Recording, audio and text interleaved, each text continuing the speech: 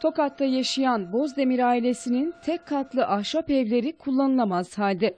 6 yaşındaki çocukları Erbey'in çaktığı kibrit evlerini bu hale getirdi. Bozdemir çifti geçimlerini karton toplayarak sağlıyordu.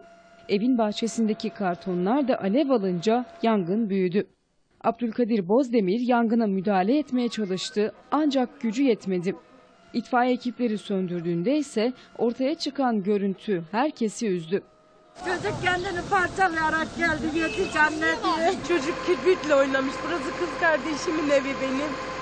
Zaten çöpten kazanıyorlardı, çöpten geçiniyorlardı, karton topluyorlardı. Evin etrafı karton doluydu zaten.